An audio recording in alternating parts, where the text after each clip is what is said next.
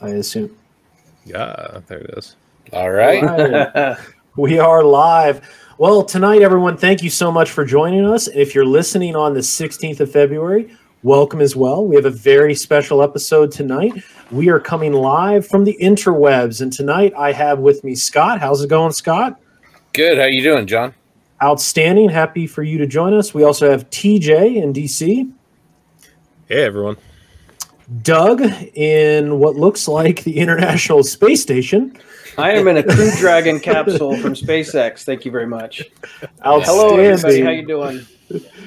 And then, lastly, and certainly not least, our special guest for this evening, coming to us from New England, the very talented scale modeler Adam Wilder. Thanks so much for joining us, Adam. How are you tonight?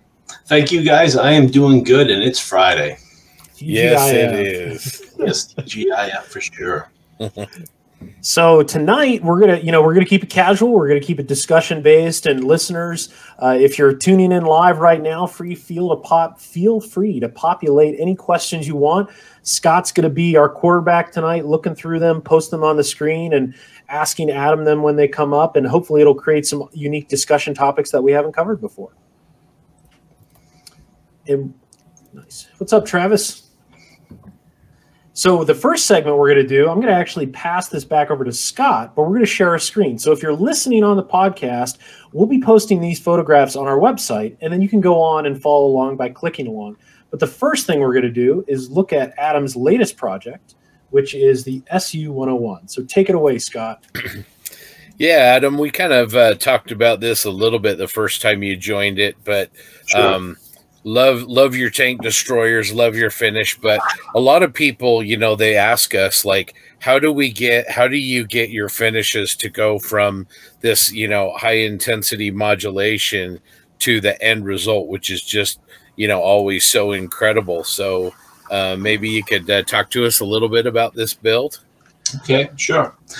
Um, this is like the first one where I've really gotten into the color modulation, like I did in the old, like I did, I say the old days, I know, back us six or seven years ago, and I decided to. And I've learned over the years, although you know, I started working on it this past summer. It was the middle of summer, really hot, and uh, I I don't know. I just started with the gradients, and then I went over it. You know, I brush paint a lot of details with the greens. Um, I'll be honest. Um, the green on those um, armored uh, guards over the vents and on parts of the muffler wasn't quite the green I was looking for, but it still had enough red in it.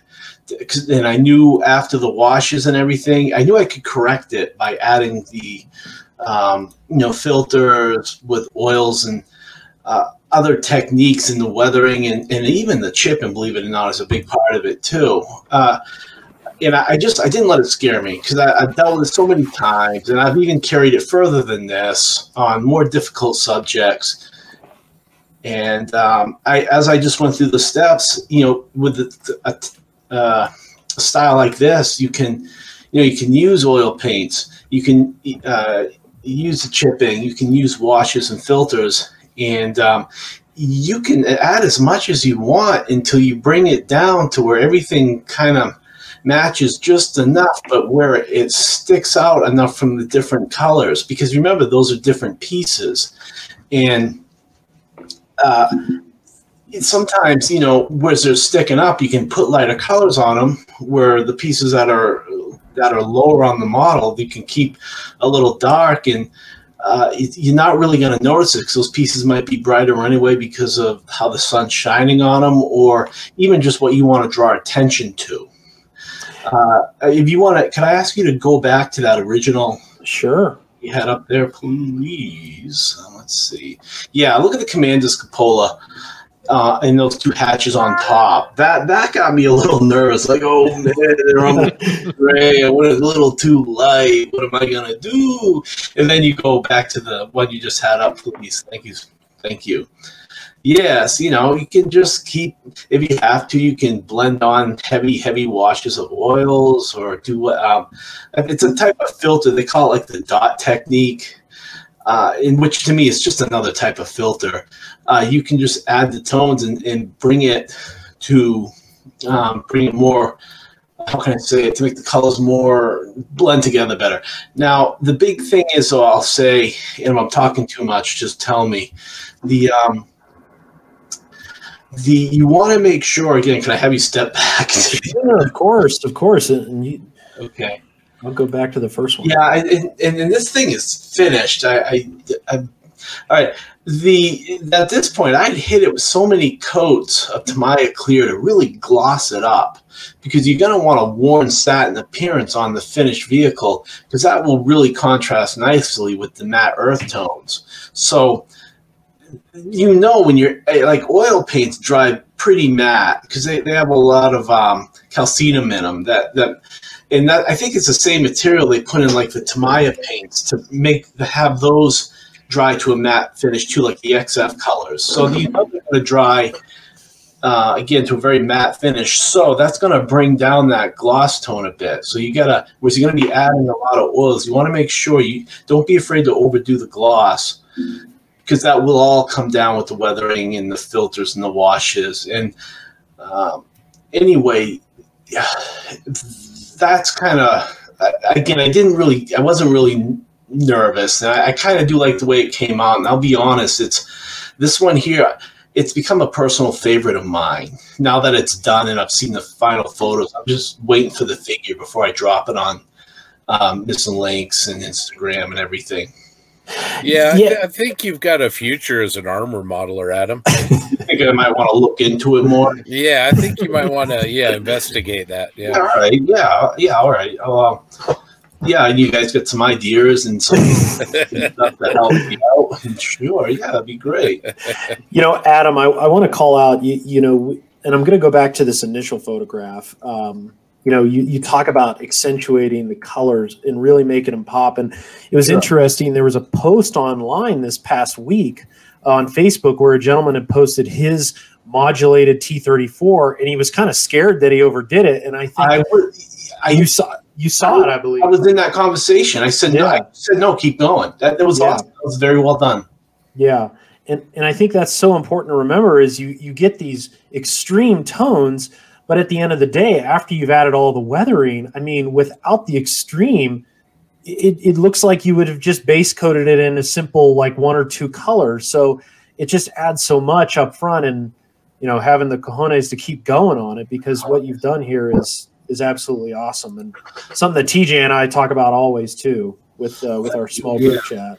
Yes, and if you look, you get like on that front that front plate, you can still see the gradient. It is mm-hmm. there just mm-hmm. enough uh, to add that, you know, the volumes and everything. And you know, you look at the front of the fenders where they come up to the top where it's lighter. Again, it's it's it that and that's that's the thing with color modulation that a lot of people mess up on is uh it's just part of it. All those tones are just part of it. They go in conjunction with the chipping and the weathering and you know rain rain marks, uh, how you know effects with grease, uh, spilt fuel. It's mm-hmm. just part of it because when that's all done, it's going to be toned down. And, and when you, it's when you try to make it about the actual gradients in the style, it, that's when it becomes obvious, and that's when you overdo it, and that's when you run into problems.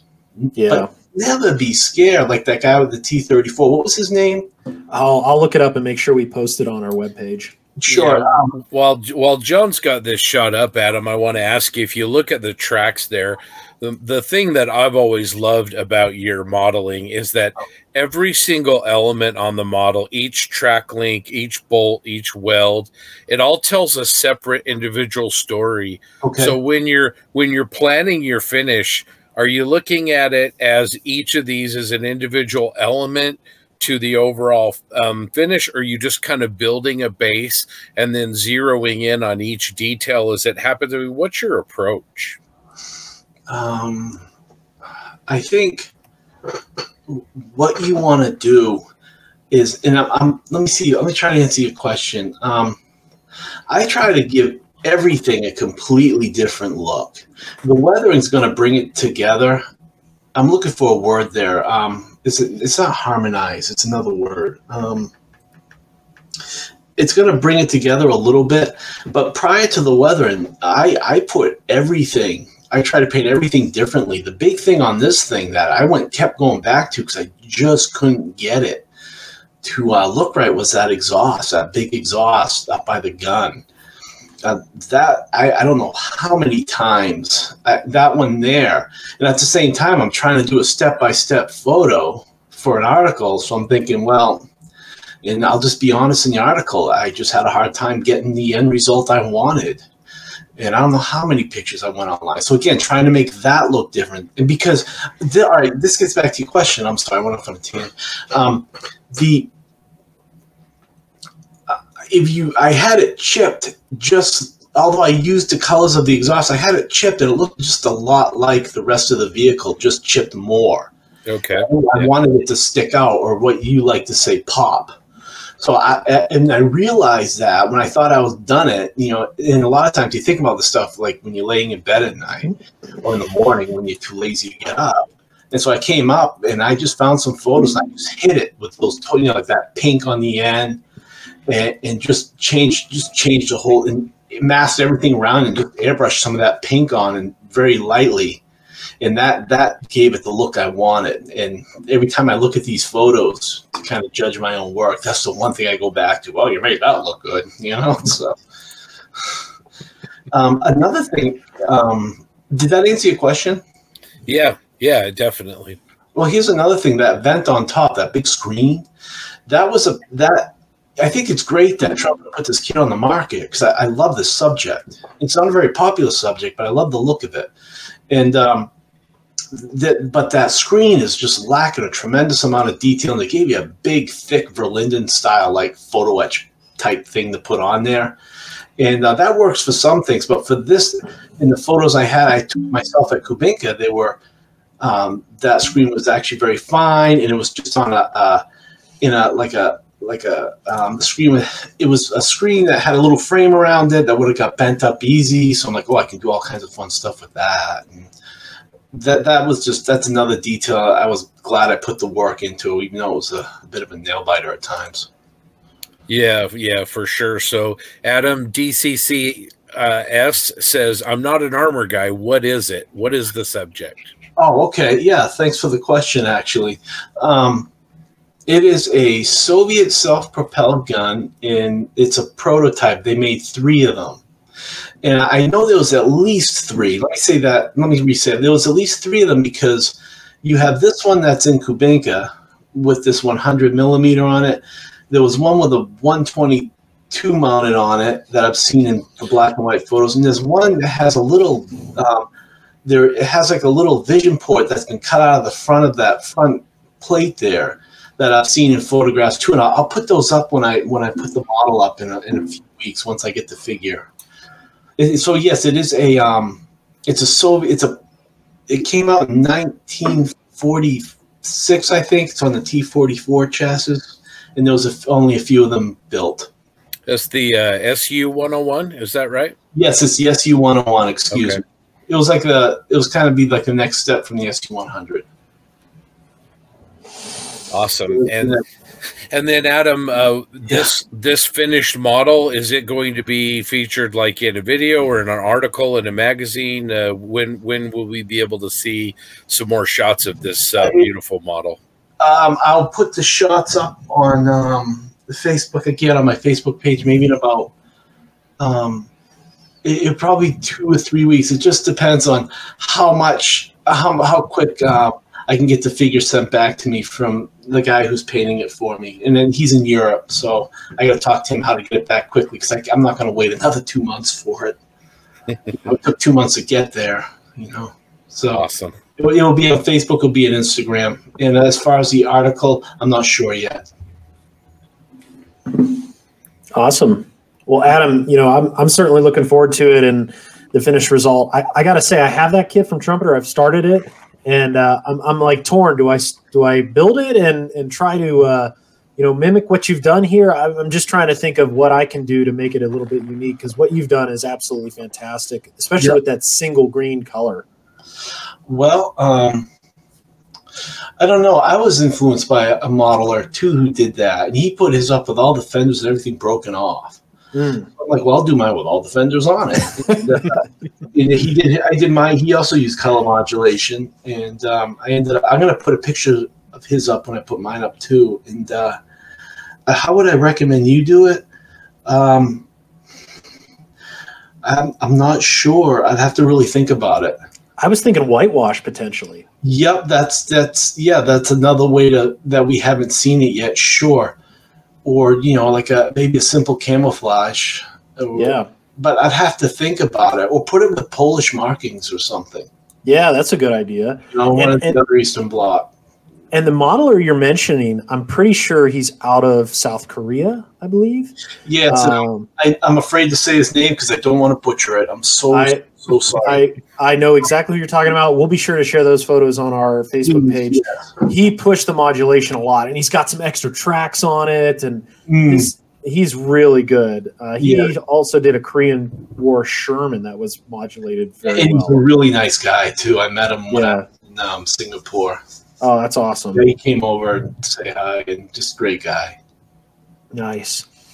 Well, we're going to go on to another segment now, Adam, and this Sure. is this is where we're going to rewind the clock. Uh, we're going to go back to the earliest days of scale modeling, uh, back you know in the Y2K era.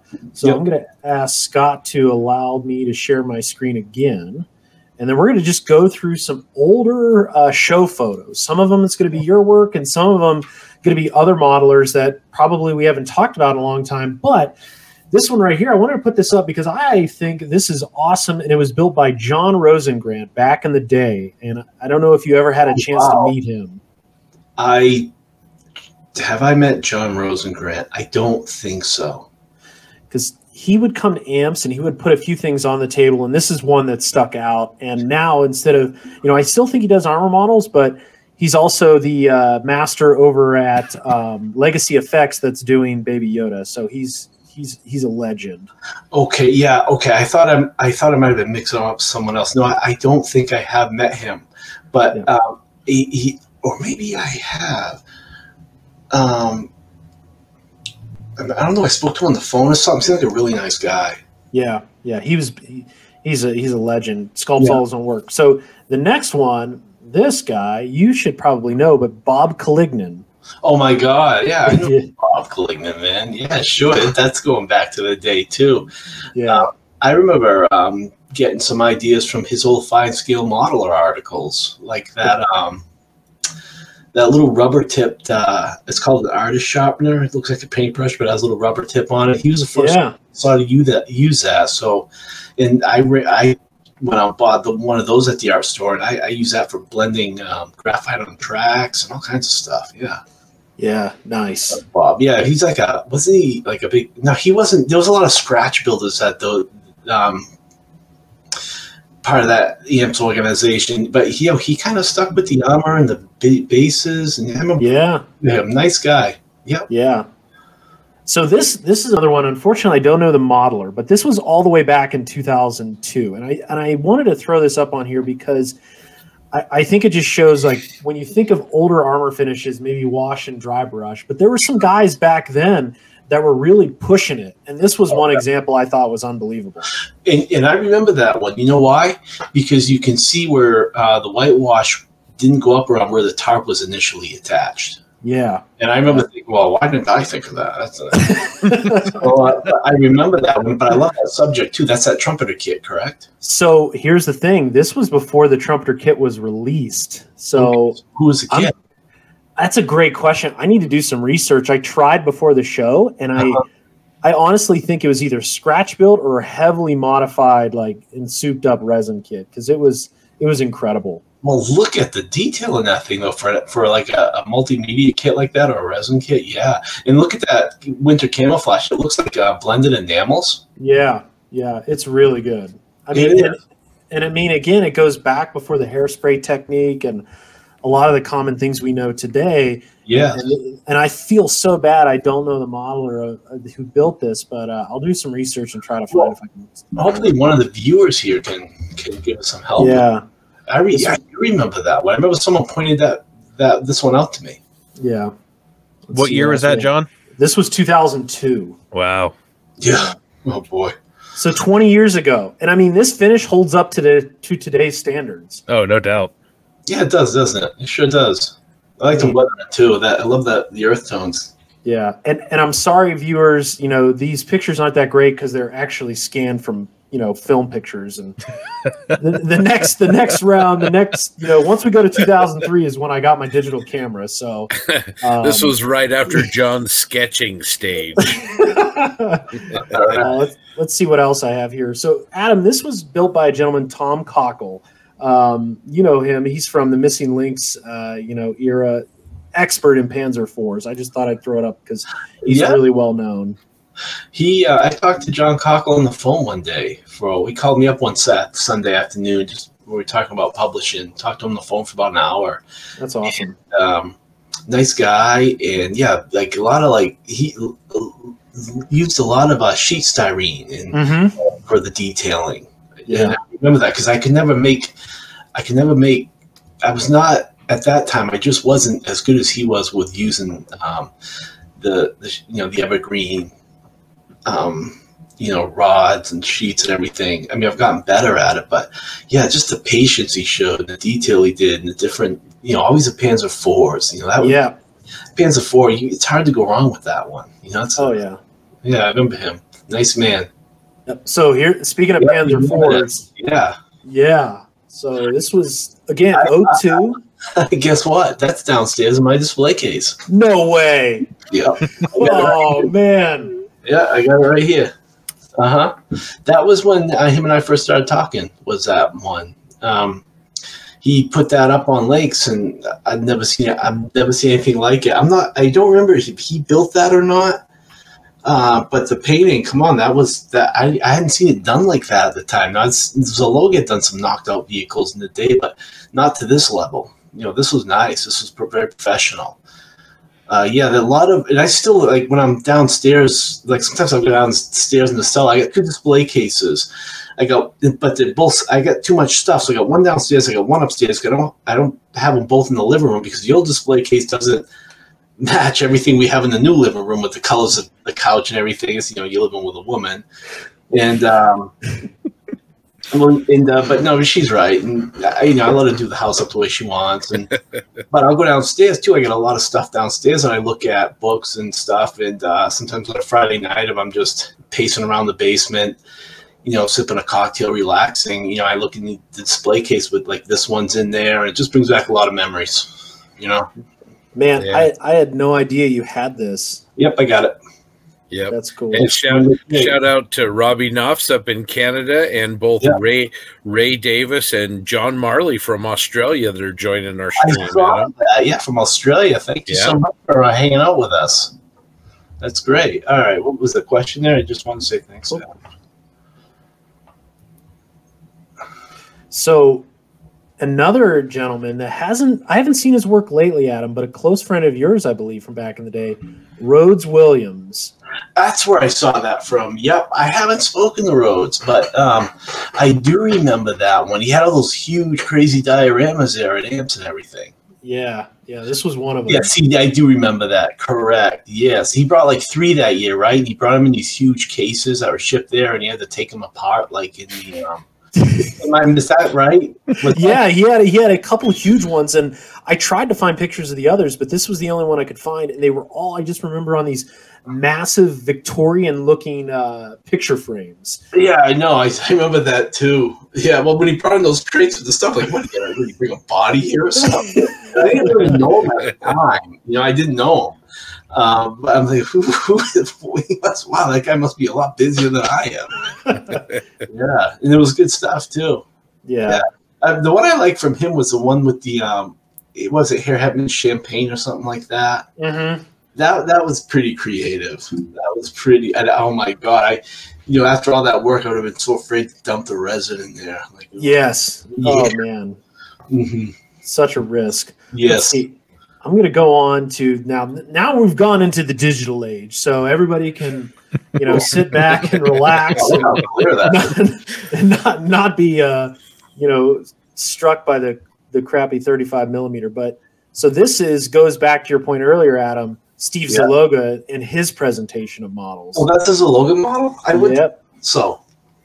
But yeah, I mean, I love. I always love his figures. It looks like he painted with enamels, and I do like you know those two two guys carrying the the uh, the was that like an anti tank gun? I forgot the numeric Yeah. designation for it. It's been so long.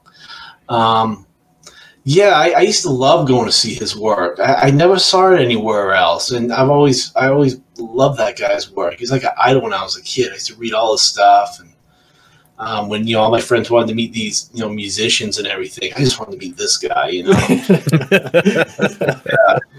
um, and what I liked about him was um, he was doing. He was the only one who was really doing the Soviet stuff and doing it well. yeah. Everyone was doing a lot of German, where this guy did the Russian stuff, and uh, in that, I think I did finally meet him at Ant. I didn't really get a chance to talk to him much, but I, I remember introducing him. I'm Adam Wilder. Blah, blah, blah, blah, blah, you know? um, but it's, it's, of, it's a question with your experience.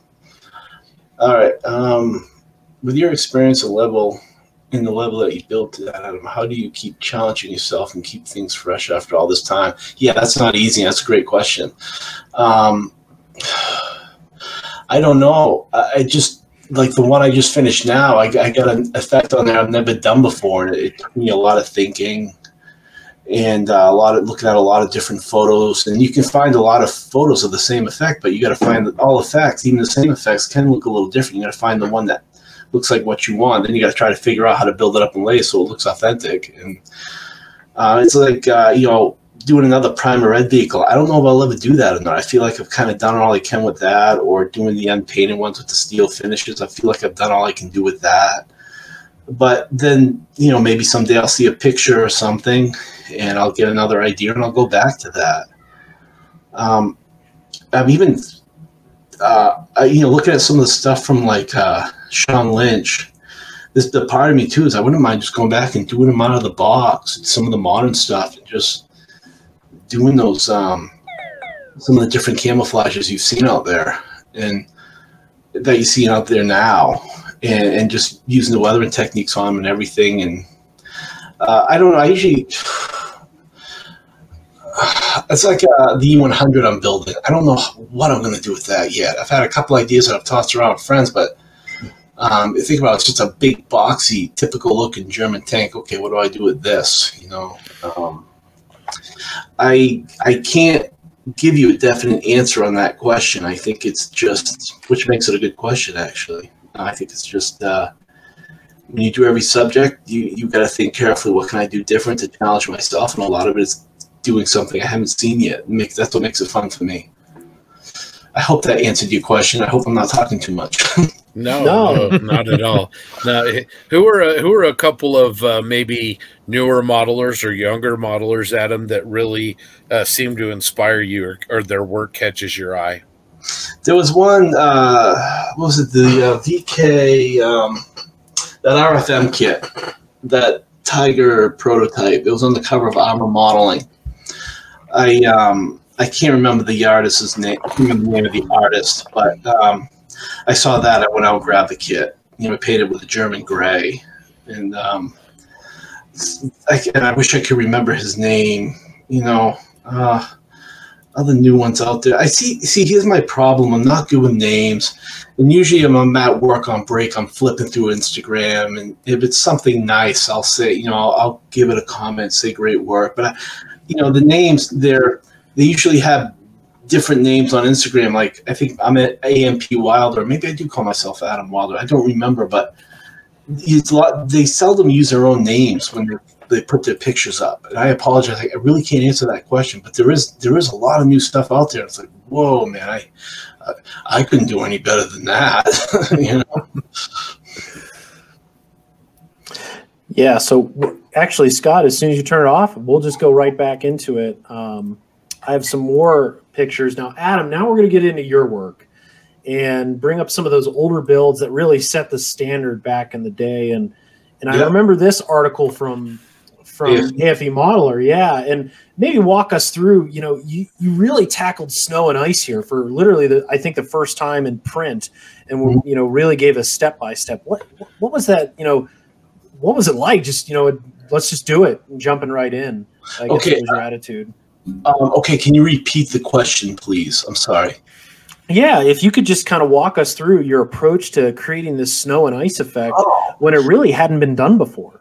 Yeah, that was um that was like one of the first models I did. I remember when the kit came out from Tamiya, I, I emailed David Parker and I said, "Hey, can I do this for you?" And he said, "Yeah, sure. You know, we've been looking for someone, blah blah blah." So he sent me the kit, and he um, and when I started putting it together, you know, I, I gave it a winter camouflage pieces of stretched uh, clear sprue, like the clear sprue that your that your lights come on in the kits, and I warmed them up, stretched them, cut them in sections, super glued them in place, and then used an acrylic gloss gel.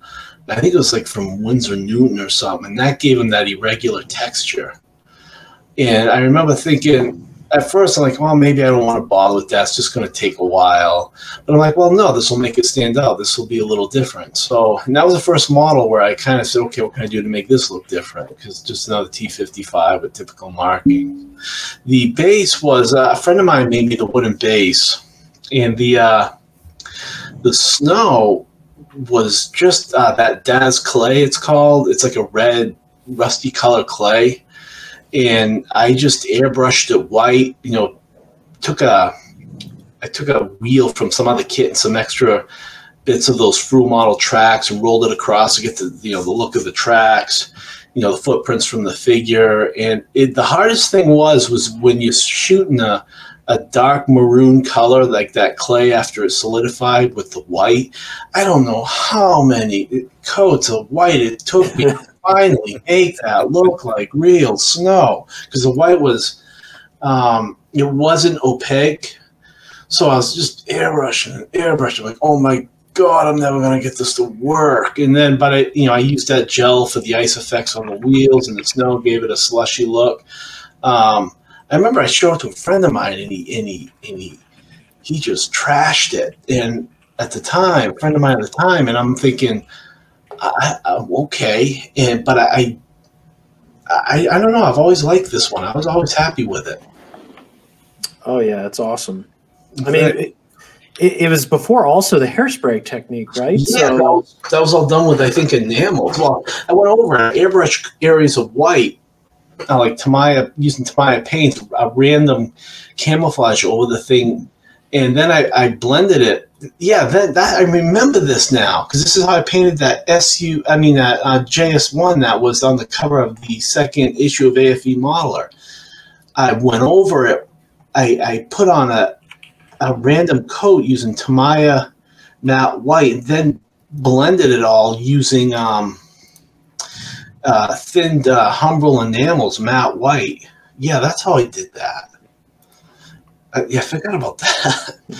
yeah it was, it was a great piece and I certainly loved it. You know, another one that stuck out to me was was this Panther. Yeah, I mean, the unique base you had on it. Well, that that's not one of my favorite ones. I was not happy with the camouflage. I was still learning how to use the airbrush, um, but I, I've heard a lot of people say that they do like it.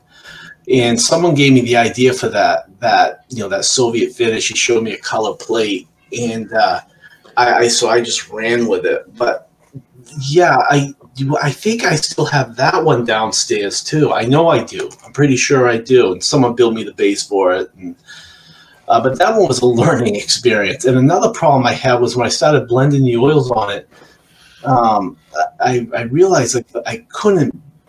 I think it was the red tones from the oils when I was adding filters and stuff. I couldn't get it to blend correctly. It, it was a uh, it was yeah that I learned a lot with that one. but it, it, it's I do like it, I do like that Tamiya kit and the black wheels and the Soviet Star and all that. Oh yeah, it was awesome. Thank you. you. Know, another one, another T thirty four.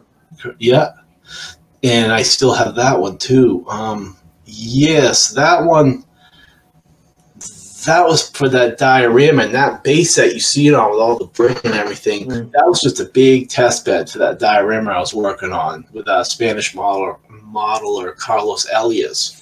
Mm-hmm. So make the brick look right. Mm-hmm. But yeah, I remember that one. That, that's always been a. I love that those T thirty fours with the the what they call the mattress armor all over them. And I had the Aber set. Mm-hmm. They were too small, or they, maybe they were accurate, mm-hmm. they too small to be like, no, I want them bigger. So I just built them myself using copper sheet and um, Aber uh, screens and soldered them up, made my own, and the like the one on the back, uh, the rear of the hull there. I I don't know if they actually had that on them or not because I never had a rear picture of that thing, but I just put it on just to add a little more detail to it. Uh, that yeah, that that was a special one for me. I liked that one. That was a fun one. That's when I was really just starting to get into the publishing. I was starting to get confident. Yeah, Yeah. you know, I'm glad you put that one up here. Oh, it's a classic. Thank you. Another classic. This is my favorite here. That one. Oh, boy. A lot Hey. going on during that time in my life. Uh, what were you going to say? I didn't mean to interrupt you. No, I was just going to say Naked Desperation, quite a title for it, too. Yeah, um, that was when I was first screwing around with the uh, steel finishes and you know using actual pieces of bringing home steel plates that I stole from the dumpster at one of the welding shows. I think it was like a trade school that I went to up up up in Bangor, Maine, and I stole them from the dumpster out back and quickly threw them in the trunk and got out of there when I was leaving as quick as I could. And that one there, that was that crazy one where I rebuilt the whole upper hull to get those interlocking plates. And then someone said, well, wow, why don't you just uh, scribe out those dovetails instead with the plates interlock? And I'm like, yeah, why didn't I do that? so, uh, oh yeah, that was, that was quite a, and that, I don't, I forget that turret. I don't remember where I got it from, but it was horrible. And just the work I had to do to cover the, some of the air holes. And again, I was just getting into it, so I didn't really know the techniques on working with like super glue and accelerator as a way to fill holes on, um, uh, you know, fill holes in resin pieces like that quickly. But um, I just the only I remember that I I, I remember the um, in my opinion the only critique I have is the wheels on the side that are facing us in that picture. The suspension came out just a little low Mm-hmm. but uh, and it looks much better on the opposite side.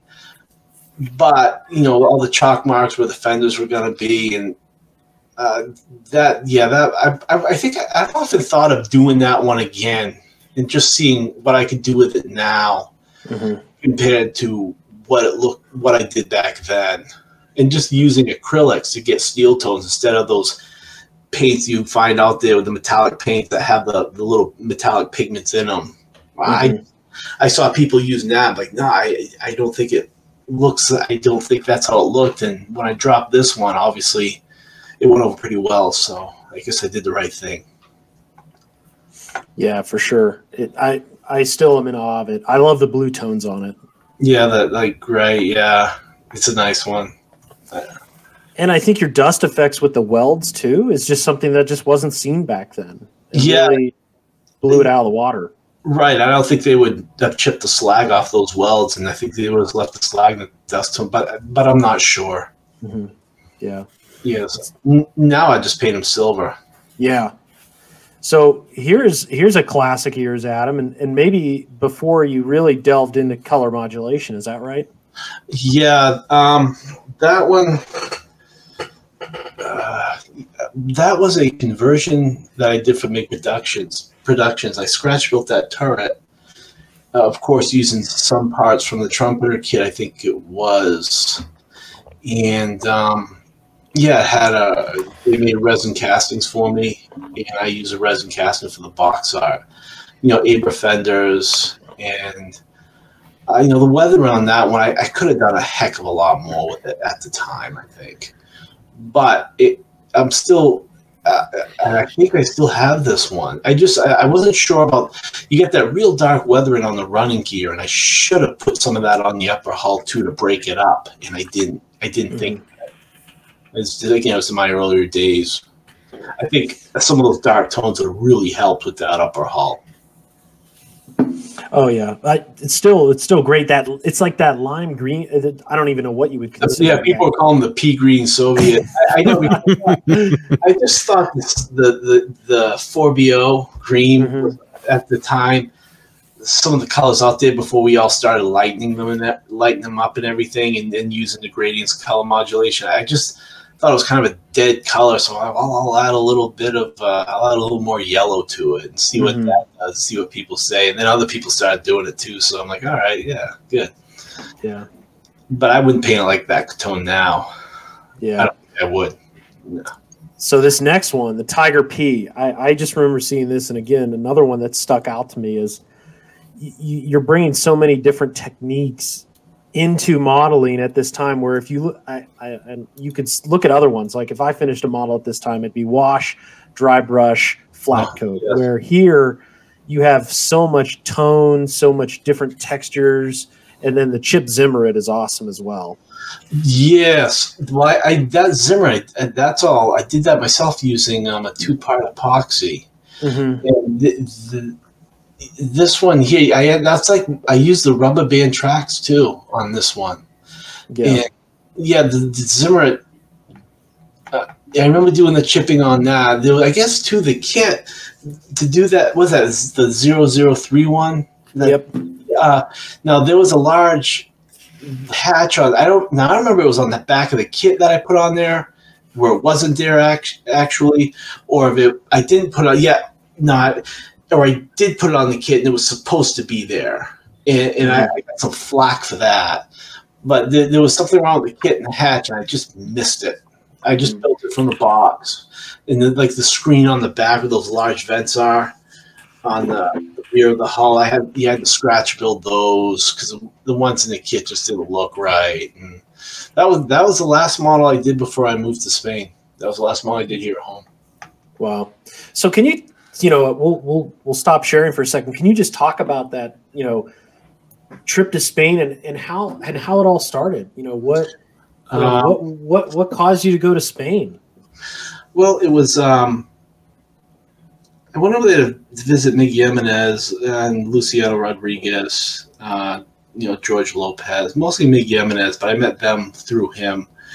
And when I, when I first got there, um, like living here in America, I had no interest in moving to a large city. I lived in Portland, Maine. That's a rather small city.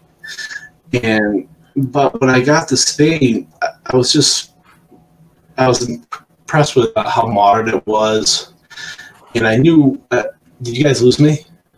Nope. No, No, you're there. Okay, I'm sorry. Um, I was just impressed how clean it was, how modern it was, how much I love Barcelona. The hobby shops just blew my mind, like Jordi Rubio.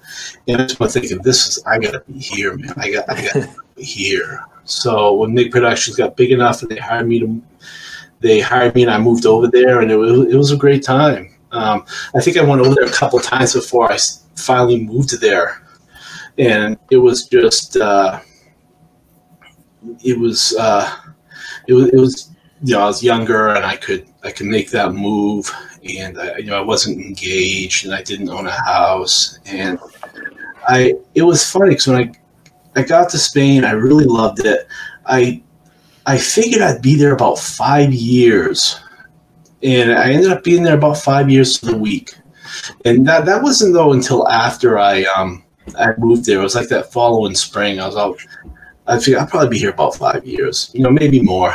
I, it was just a guess. and It was about that long. It was it was great. Some of the best times of my life. I had a great time. It was it was really nice. So when you were there, you were a full time model maker for them, both pattern work I and finishing stuff.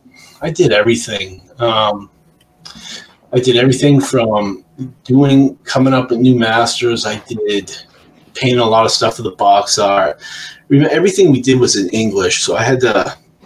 I typed all the descriptions for the products, or most of them. And from what I remember, I would have they needed help. I would package stuff if they needed help. I, I, would, I was everywhere they needed help. I, I didn't, you know, I never, I didn't care. Wherever you, you know, I designed the photo etch. I did everything. You know. That's awesome. Yeah, it was fun. It was. I mean, I just remember that first winter I was there. It was freaking cold. like, because we were in the north, and um, we were close to the border of France. We were in Navarra, and it was like one morning it was really cold. The resin wasn't casting properly, so I put like a s an interesting spin on everything. And my roommate, were I worked with my roommate a lot, Francois, and uh, um, it was, it, you know, it was, yeah, it was exciting. It was, it was a good time. Do you think it contributed to your to your modeling, kind of moving to a new locale and really focusing on your modeling, or you know, how do you think it affected you? Uh, I think it made a big difference because you know you, you go over there and you learn all these new techniques from these European modelers, and and believe me, I was getting good, but like that stuff you all just showed the, the early stuff, I still had a lot to learn. It was it's obvious, and um, a lot of it was, you, you know. we were all pretty good at that company. Everyone was good at what they did. Everyone had good ideas. And I think that I, you know, I was to a point where I had so much ideas, or I want, you know, I was so confident at, at that point at modeling that I would, um, you know, you work all day there, and I'd go home, go home at night and work on my own stuff. You know, Panther F, I did that at home.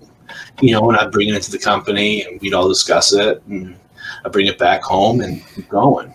And you know, there was a lot of other stuff I did from home while I was there too. So I was just 24 seven. That's all I did. And I think when you're doing it so much, it's going to come to a point where it pops and you got to kind of, you just kind of, you, you, or you get a little burnt out with it. And that's when I did that Panzer 4, that Panzer 4H. It was during that one where I was like, whoa, I gotta, I gotta stop this and just you know I live in a beautiful part of the world. I need to be out more, and um, I ended up getting a flat in town. I met some people there. People lived in the town. I met them when I was uh, lifting at the gym. That was when you know I just met new people that kind of took me outside of modeling, and, and that was one thing Mig said a lot to me. Goes, "You need to kind of back off from the modeling a bit and meet other people here." And you know i wasn't even really taking the time to learn the language. I was just so into the modeling. And it wasn't until i started hanging out people in the bars people i knew in the street and hanging out people on the weekend at their houses with you know their families and stuff that it started to click a bit the language. And it just got me away from you know modeling all the time. Because modeling with me it's kind of come and gone. Like when i finished those books for AFV modeler was like you know i was burnt out. I, I didn't do it for a while. And uh, and, and, then even after that, I'm like, okay, what do I do now? I kind of lost my footing. And, you know, it took me a few years till I did that tortoise a couple, three, two years later that I started feeling confident again. Uh, but back to uh, Europe, um, Spain, you know, I, I've been to some of the part of Spain I was living in. I've been to like national parks, parks here in America, like Yosemite, for example and I, saw stuff out there just walking around where I live that rivaled anything I saw in the national parks, and no one seemed to know about it, which was odd. I'm like, how come more Americans don't know about what's over here? These, these, you know, walking down trails that were built by the Romans that are still functioning, bridges that are still standing that no one knows about. You know, uh, you see people they bike across them. And where I was, it was all vineyards. It was just, it was really awesome.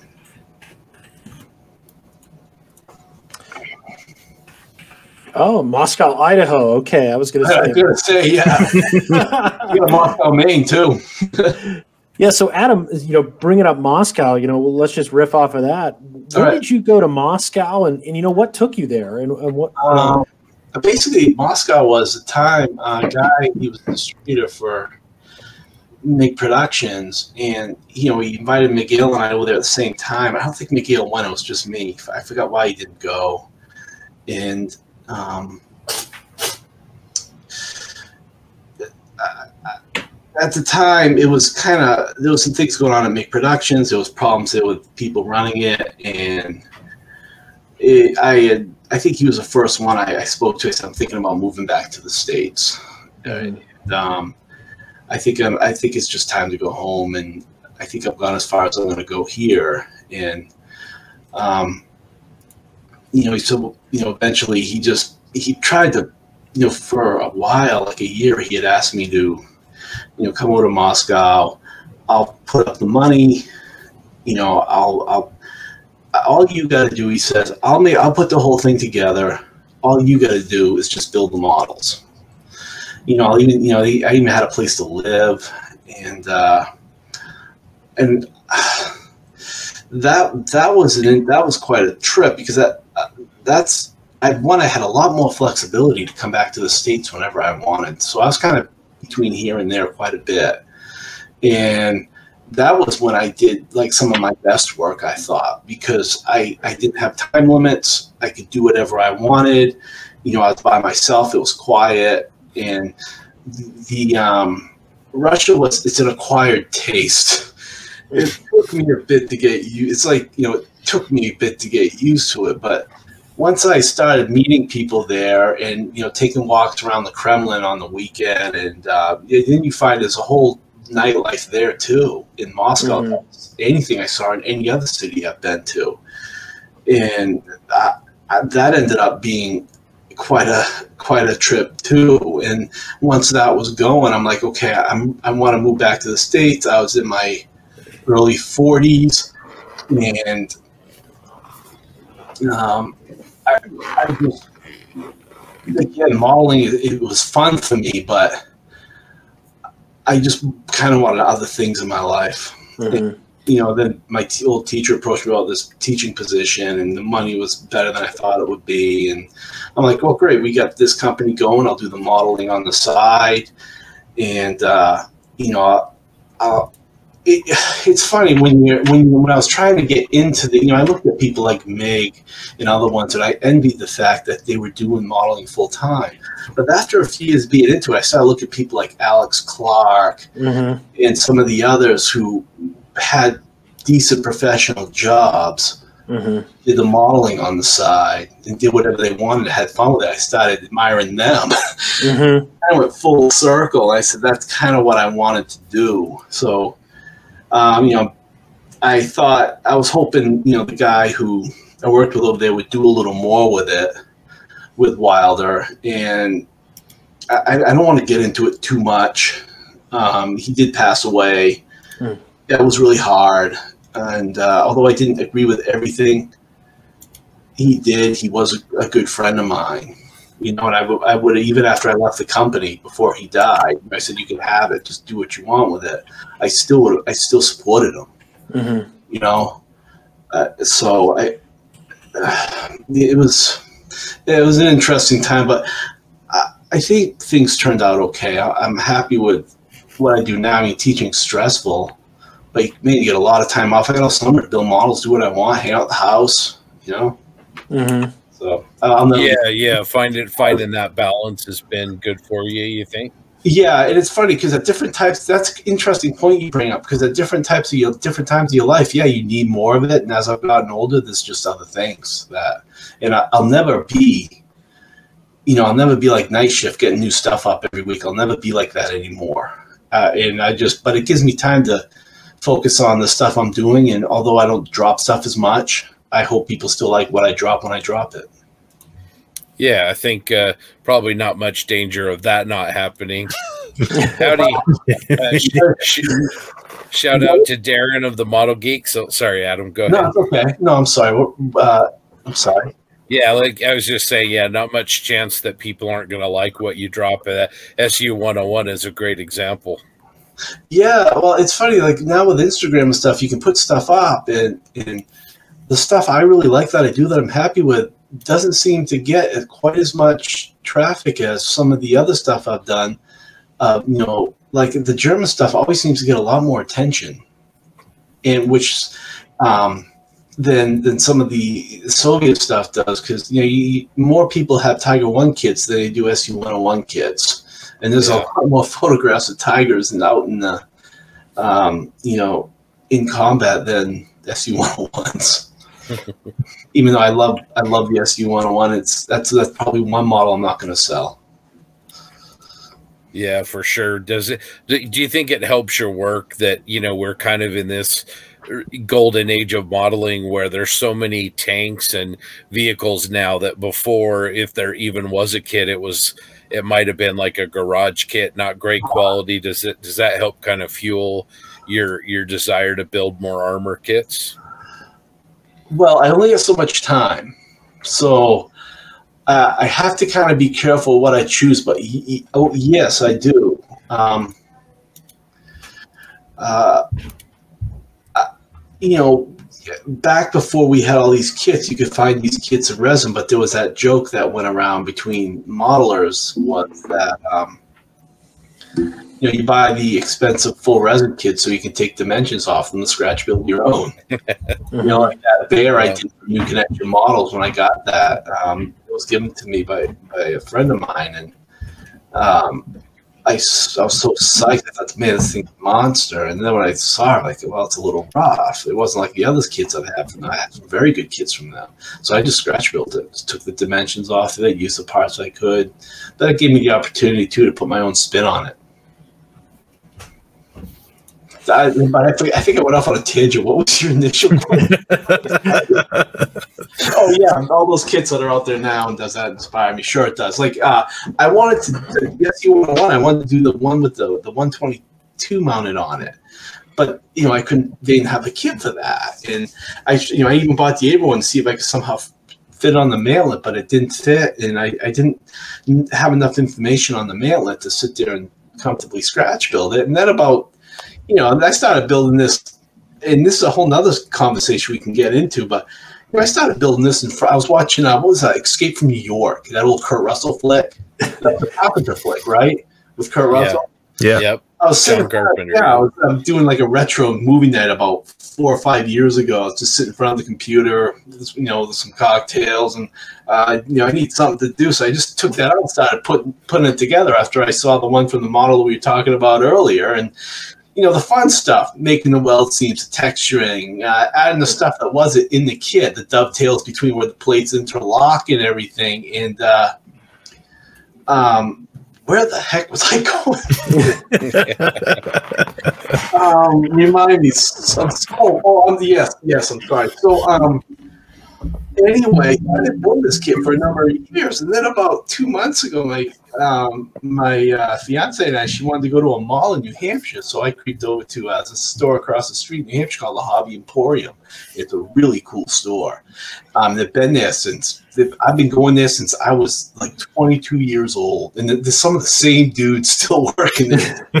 So I walked in there and uh, I'm just looking at all the stuff because I can't keep up with what's coming out anymore. Because I, just don't have the time to surf the modeling sites like I used to. And then what they got one, they came out with a kit with that 122 mounted on. I'm like, oh, son of a bitch, you know. But because this one's all done, but hey, what the heck? But yeah, you're right. Everything's out there. Everything, everything. You know.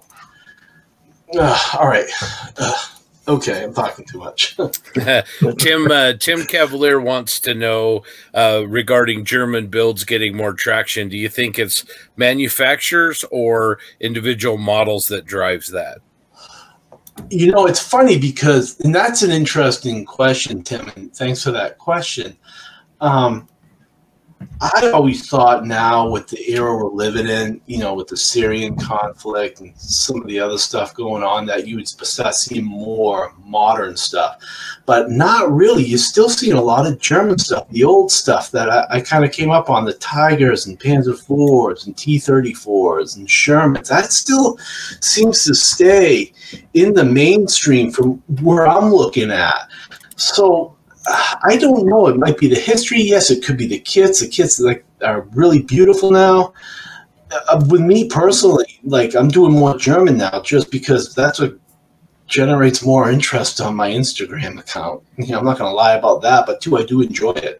You know, like the E100, it's it's big, okay, but it's big and square. It's going to be a heck of a lot easier to paint than that SU101 was, man. It's- yeah, I, I, I think it's a combination of the kits. I think it's the history, and people like me who just want more people on their Instagram account. Again. There's no shame in that. yeah, I'm feeling shameful for saying it. anyway, Adam, Yeah. with that E100, are you going to do the giant slabs on the side of the hull, or are you thinking you're going to do it clean? Um, no, I'm put slabs on sure. Okay, I got, I got an idea with those. nice. Yes, I will. But yeah, that, that's another one that started one night in front of um um it's is that same Big John was doing the Sherman that did the Big John Sherman project book thing a while back? I haven't spoken in a while. Hey, Jo- um, That is John Hale. Yeah. yeah, John Hale, that's the guy's name. Yeah, it's been a while. Um, anyway, what was I talking about? Um, On the E100 or Yeah, the E100. Yeah, I'll, I'll put those slabs on the side, and um, I just it's just a big thing that I can paint. Not to worry about details, you know, obstructing rain marks and stuff like that. Now, all that that was just one of those things I started putting together when I watching. I was watching like a history on, you know, the war in Japan or something from a Japanese perspective, and just just needed some because when you like usually on like Saturdays, I'm up at six in the morning. You know, I, I, I make breakfast, pour a big cup of coffee, and I'm either working with photo etcher all day or I'm painting all day because Catherine works uh, Tuesday through Saturday, so that gives me Saturdays here alone. So, uh, but by the time the evening comes along and I just want to wind down, I want to watch something on YouTube after her and I have dinner or something and I don't have it in me to get back into the photo etch or get into the chip. And so that's when I'll pull a kit out of the stash and start putting it together, dry fitting it, and doing all that stuff. And that's how that started. I, I have had it. And, uh, yeah, that, that's how most of my kits start. Actually, that's how most of my kits start is just putting them together because I'm not a fan of shelf queens. I only have two. Lucky you. yeah, that will be done soon. so, so, so go ahead, John. I was just gonna. I was just gonna say, Adam. We had a few questions from our listeners uh, that wrote in a little bit before the show, sure. and one of them, Martin Drayton, he asked, "Adam, do you have in your mind exactly what you're going to do with every step of the build, or do you tend to let the build lead you into fresh ideas and directions?" Both. Both. Okay. Great question. Uh, the like that E100 turret I showed you guys before we get started on this. Um, that was just again, I got the texture and done on it, and I, I, I, got all these other details and the weld seams. Everything was done, so I'm looking at okay, well, what else can I do to this? Because I don't feel like starting the haul, and I still got a, another 45 minutes for I before this movie ends. So what else can I do? So I'll start putting different stuff on it that way. You know, texture and different parts that I initially wasn't going to texture. Or, oh, okay, let's put some casting numbers on these parts, and you know where that's the theoretical armor. You can do that. That's why I love that stuff. Mm-hmm. And where it's German, it's still going to be kind of popular. You know, more so than if it was something Soviet. Um, it's a, a guy on. Um, check this guy out on Instagram. His name is. Um, I think it's Soviet Bear Models. And oh he, yeah, oh yeah. Finished a um, an IS six, and he didn't get a lot of um, he didn't get a lot of um, attention with it. And I'm sitting there looking at it like this is just as good as anything I could have scratch build. And how come he's not getting more with this? And I remember, you know, like wow, this is that's a one of the best scratch build Soviet subjects I've ever seen. It's just fabulous, you know. And I think I want to uh, try to. I TJ, know is that Daniel? That yeah, that's Daniel. Brooker? Daniel Brooker. Yep. Yeah, yeah, um, unbelievable modeler. Yes, yeah. he did that real cool Sherman too, with all the welded plates on it. And I'm looking at that stuff like, man, I wish I, you know, that's like, you know, I wish I had just a little more time to maybe do some scratch building like that because that's a, you know, stuff like that is, is interesting with a Sherman. You can't go wrong, you know, even a prototype like that, you're not going to go wrong with that. So, but that, yeah, that's some good scratch building. So, uh, Bob Bear, the voice of Bob, how you doing, Bob? He wants to know, Adam, is there such a thing as too much weathering? Oh my God, yeah. Oh my god! well, that's, yeah, that's right. I mean, um, the the one I'm doing now, I I, I remember like uh, the I, the one I finished before it, the uh, that um, that SU one uh, fifty two. I'm sorry, it's late. I'm a little tired. That uh, yeah, that what is the object? Um, it's the one there. It's the um, they could also they also call the SU one fifty two M forty five, the one with the huge um, with the huge gun on it. Um, that one there, I really weathered it, and I wasn't shy with the weathering in the mud. But when I started on this SU one hundred one, I'm like, well, I don't want to do that. I want to keep this much lighter. I just for just just to give something different for me. And I remember that the whole thing of going through now, be careful with the weather now, be easy with the weather Take it easy. I would do it this time, and no, it came out. I think when you're a little scared because I didn't, I, don't- I don't want all my stuff to look the same. So, um, no, there is such thing as too much weathering because it can. If you're doing things like color modulation, you can cover it up too much. So, of course, you just have to. What I've found is, um, if you try to be too restrained, it'll almost come out looking just right. So don't be afraid because there's so many weathering steps I do in layers. You got dust tones and thick, dry earth tones, and then you got the, the the wet mud, and you're building up all these layers. And what can come out or start as what you think is light weathering, when you're done, it's not. You got a lot of earth tones on there, so you gotta you gotta really um, you gotta really take it easy because if you're building up all those earth tones, sure, you can you can um, you can overdo it a little bit. Yes. Good question, by the way. Thank you. Yeah, really good question. Yes. Yeah, so I guess going back to your shelf queen comment earlier, Adam, you know, Pete Kokla, a good friend of ours, he writes in, you know, what do you do when you get burnt out on a project? Do you sell do you shelve it? Do you power through it or do you just move on to something else? Power through it because my time is limited. You know, I put months into putting something together. I, I um, it's not just not worth my time to start on something new. For example, I did a Chinese um, howitzer with a um, it had a digital camo on it. Mm-hmm. and I got started getting to that. I remember just sitting like, oh my god, what have I done? Trying to mass this on there, Mm-hmm. and I, that took me, you know, that took me a long time, and that was, and I lost interest in the subject a bit, even though I do like Chinese armor very much. Um, I just, for some reason, I think it was just I got overwhelmed with that. Um, I got overwhelmed with that all the masking on that finish Mm-hmm. and you know going back and forth to fix overspray and uh, I, I finally got done it came out i put it on instagram and i put it on um, facebook it seemed to go over pretty good but i remember a guy my graphic designer a good friend of mine he's like adam don't put yourself in that situation again. You do something chinese just do some single camouflage. Would you? You'd just be so much happier. And so the chinese subject i did after that was yeah just had a sand coat over it. I had a moment with that one. That, i like that one. Couple, couple of uh, questions for you, Adam. Uh, Jackson Stanton wants to um, ask for advice on depicting a newer, clean vehicle. A lot of the visual interest we add to models comes in the form of weathering. I've always struggled with weathering a non-weathered subject.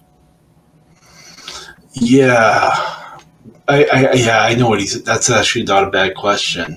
So like something modern maybe that's kept pretty well. Um, there was a uh, there was a PLZ that I did. Yeah, and going back to that Chinese modern vehicles, uh, it was a kit that Meng did, and they sent me the prototype of the kit to put together for them. And that one there, uh, the picture quartz was the one with a nice digital finish, but I wasn't going there that time. So I found one that they were just they were on trials or something, and they were they had a sand finish on. They're pretty clean, but what I did was, um, uh, and this is a great question. I went heavy with the washes, heavy with the shading, and there was like these those what are those those it's like these um you know I, am sorry for my lack of um terminology here for the parts of these vehicles those rubber flaps on the side that protect the road wheels what would you call those Like the skirts? let's Yeah. call them skirts all right let's call them that um, you know i put a lot of the chip uh, the paint chipped off or a lot of the rubber showing um, and you could do that in a way where it, it emphasizes each each or you had contrast skirts. Um, I'd have to see a picture of it. I forget what else I did to that thing. You know, putting a little blue flag on it, keeping the weathering extremely light, um, and adding some other, you know, like exhaust runs and other things like that. And when I bring that to a show, that's one of the ones I spent the less least time weathering and relying more on washes just to emphasize the vehicle, the model. Where if I put it on a table, everyone will look at it, and that's the one they like. That's the one my fiance likes the most. She likes that better than my tortoise. Yeah. You know, Maybe she- it's Oh, it's so it's like the Mayday Mayday vehicles in Moscow, right? Uh, yeah, well, yeah, that would be real tough, but you could do it. I mean, again, just focus on the washes and use that to bring out the different details. I, I wish we had a photo of that that PLZ we could put up. I don't know if I, if I have the power to do it from where I'm sitting. Probably not. Um, but anyway, um, there's someone asking, would I ever do 148th? Yeah, Luke Pitt. Yep. Yeah, and um, I did. We did a lot of 48 scale stuff at Mig Productions because it's smaller and took less time and would allow us to get the products out on time. Uh, I once I got into it and I was painting and everything, yeah, I, I did like it, but I never.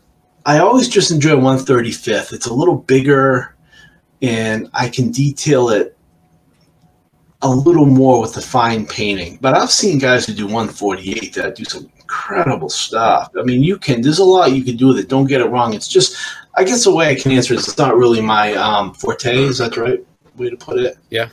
But yeah, there's a lot of 148 stuff out there that's really interesting and really well done. Yeah, Luke's a great example of that. He's a great 48 scale armor modeler. I think I've seen that his name before. Um, I'd have maybe I've spoken to him. I'd have to. I'll look. I'll look him up after this. Was it Luke Pitt? Yeah. I know. I know. I've talked to him, spoken to him. I know I have.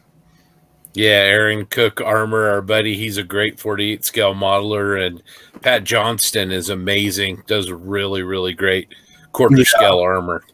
Yes. Oh my God, that guy's. Yeah, he is. He's been. Yeah, I've been following his work for a number of years. I remember back about back during the Mig Productions days, like I would drop something like, "Oh man, Mhm. oh I can do that in thirty fifth. Boy. so, yes. You know, another question that we got in, and it, and it kind of goes very similar um, to a question I asked before, but you know, how much of a plan is involved in getting the finish um, that you want versus how much is done on the fly and just working towards that reference or, or that shot in your mind when you when you're going through the weathering process. And that's that was asked by our friend Chris McLean. Um, thanks, Chris. Um, a lot. Yeah. I like again with this last one. I tried to keep it light all the way through, and you kind of want what details do I not want to cover up with the weathering? What places are the chipping done really well? You want to keep it light. Um, I have an idea kind of as I'm going through it, but again, there's so many different parts and details on these models that have their own chipping and all their different effects. That kind of dictates where you put the earth tone, but in the end, you have that overall look. Does that answer your question? Yeah, I think so. okay uh, you know the, for a while i was getting when i was learning all these kind of these all these new um, weathering techniques all these layers i noticed i was overdoing it with the weathering again i was just Mhm. putting on too many layers and it was building up and building up and building up and i just uh, with the last model before this one i just i just like okay i gotta step back step back calm down relax and um, you know just be a little more reserved Yeah, for sure. yeah. Ian saying always on the fly for me. hey, that's good. That's how you having fun. Me cover up my stuff with weathering. Uh, have I done that? Probably have. But I usually I've gotten pretty good where I don't need to as much as I used to. How about that? You take that?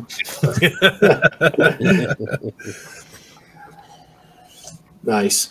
Well, Adam, you know, now now I'd love to go back to sharing my screen Sure. and, speci- and specifically call out some models that you know our listeners and some of us really liked. Mhm. And I know we've been going a little bit over an hour, so if we can keep you a little longer, that'd be awesome. If everyone wants to stay and you guys aren't sick of me yet, no chance. I'm going to bring up this one first. Um, oh man, that was um So awesome. that was a Mig Productions project, and I am drawing a blank on who came up with that master. Is it Fitchmeyer? Fichtemeyer, yeah, Michael Fichtemeyer from, I'll from Indus- that name, didn't I? Industrial Mechanica. Yeah, well, that's what I always called them that too. You, I never, knew I was pronouncing it that incorrectly. Um, yeah, Yeah, that one. Um, that was for that was one of the ones where I did for Mig Production where um, I had all the time I needed to finish it. Um, like Mig wasn't there a lot; he was doing other stuff, and it was kind of just me there. And uh, um, we kind of came up with the idea together. Um, have a modern look on the the actual walking part of it because that's a modern part. And have the KB look turret look like it was dragged out of a swamp Mhm. and that that one I that that was when I tried the hairspray technique over the rust and it just I just couldn't get it to work right. Mhm. So I you know like a lot of the light greens you see on there I painted by hand. Mhm. And same with like the rust tones, I had to have washes on to get the you know the gun it's segmented into 3 Mhm. parts. You know I Mhm. used green on the edge and then the two rust tones to break that up. Then the twenty one that came out pretty well Mhm. and you then put on those big wet effects to break it up further. And that was what when I got that part done, like yeah, okay, that worked. That that did a lot. And um, you know the, the light blue fuel tank on the side. I, I just found some Soviet uh, Soviet uh, dry transfers. I don't even know where we got them. They might have been the old Mig Productions ones, and. Uh, um, used those. Yeah, that was funny when I put that on Lynx, which is mostly an armor modeling site. I never thought that would get the response it did. I, I never thought that would. Uh, and yeah, it's watermark. What is that? Two thousand. I don't even. No. Three, it looks. Oh yeah, nine. Or- Three or nine? Yeah, I can't tell. Yeah, Looks Oh, kind of nine. That's a yeah. it is. or three. I don't know. yeah, it's a nine, 2009. Yeah. Um, and yeah, the weathering and the grease, and I, I, you know, I learned some new stuff with adding grease effects on when I did that model.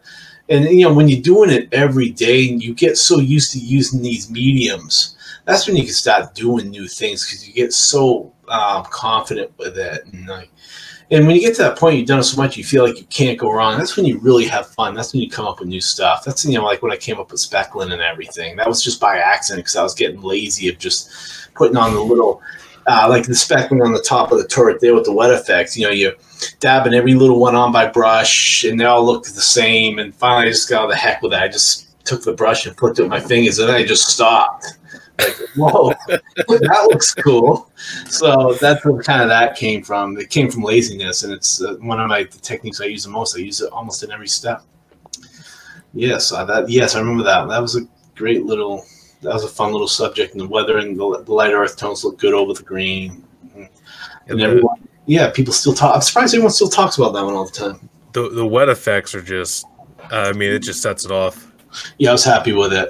And you know, I, I'm sorry, what? You're you're just fearless with those wet effects. I don't I don't have it in me to do it. I, I'm always like, ah, no, that look terrible. No, but that's just from doing it a lot. And because you look at it after, you look at your stuff like, well, I could have went more with that. I could have went more with, more with it. For this one here, I, I, I just, you know, you're doing it every day. And I, I remember looking at it when I got home that night. I looked at some photos and said, yeah, I'm so glad I did that. I was, I was happy with the finish on that one. And uh, it was a clever little kit that um, uh, Fickmare came up with. Did I say that wrong? Yeah, and you did a, a Panzer 38T one as well. I don't have a Yeah, picture that- of it, but Yeah, I like that one better with a flamethrower on the side. Mhm. But that one just seems to be the more popular one that people keep bringing up. yeah. Yeah. Our buddy Ian Bonner wants to know if there's a technique or step that you dread when you're doing a model, something you have to do, but you really don't like Oh, to do. Yeah, painting painting markings on by hand. That's a great question, and that is stressful. I, you know, um, like this one here, this this E50. You know, I had all the dry transfers for those um, those those uh, German markings, but in the past, you know, you're using a white pencil. I, I you know, spelling. Realizing when I'm done, I spelt Soviet slogans incorrectly, so I go, go back over it. And, uh, oh yeah, yeah, it's it, it, that's the answer to your question. Painting markings on by hand. Yeah, this is another great one, Adam. This this has kind of surprised me. This was one of your first kind of modern builds in a long time, if I recall right. Yeah, Scale Model Addict. and I remember we, You know, I, I I've never I've never liked the M113. I always thought it was kind of boring. Even though as I time's gone on, I do I do like Vietnam era subjects, especially um, some of the um, uh, the American stuff that was there. But this one, um, someone came up with that slogan idea and asked me to do this for a, a magazine on uh, Vietnam era armor. And yeah, that one came out pretty good. What was what was good about that one was um,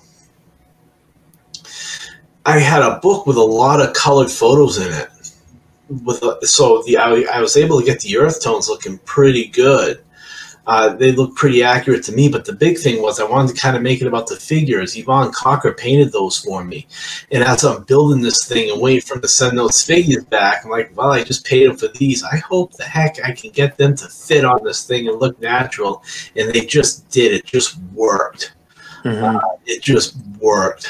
And those little pieces of uh, angle iron on the side. I found one picture. They put those on the side, probably put a tarp over it or something to keep them uh, shield them from the sun. So I threw those on there. Uh, and again, I wasn't afraid with the wet effects. I mean, this is a top picture that heavy wet effects on the roof. It just worked. Yeah, like if you zoom out on that a bit, yeah, with the mud tones and everything, um, it's hard to get mud tones to um, or wet earth tones to be at that glossy because um, a lot of the, the earth tones that you use they're, they're from matte. I think those are like matte enamel paints, so they're gonna. It, it's real hard to give them this real glossy wet look, but for some reason on this one it really came out. And the, all the the Verlinden, um, you know, the boxes and the cooler. And Yeah, and the and the contrast of the dried dirt left over from the water and then the wet, you know, the wet muddy Yeah. stuff is great. Sure. Great. Yeah. Well, the thing is, like that that stowage on there. That's an example of you're gonna put stowage on a vehicle. Um, you got to make it look as weathered as the rest of the vehicle. And that was a mistake people used to make. Not as much anymore, though. I see a lot of people they don't make that mistake anymore. They're weathering the stowage too, and it all looks right. Yeah. Yeah. Well, Bob wants to know after the build, what part of the process of painting, weathering, and distressing is your favorite? Um, probably the wet effects. That's when you can really start at breaking up parts. And in contrast, that and I enjoy the chipping too, but man, that is a long process, and my eyesight isn't what it was. So, you know, you're under the optivisor all day, chipping a model all morning and all afternoon, and you know, Catherine comes home from work. I'm feeling more tired than on a regular day with the kids in the classroom. You know, um, but I do enjoy it. Now, but probably get into the final of weather and effects, you know, grease tones, wet effects. You can really, that's when you can really add some different stuff and give.